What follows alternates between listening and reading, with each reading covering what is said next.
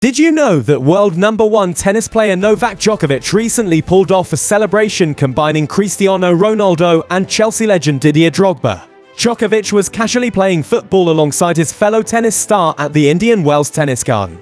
After scoring a well-taken goal, the Serbian first started with Drogba's iconic celebration style before hitting the famous Siu.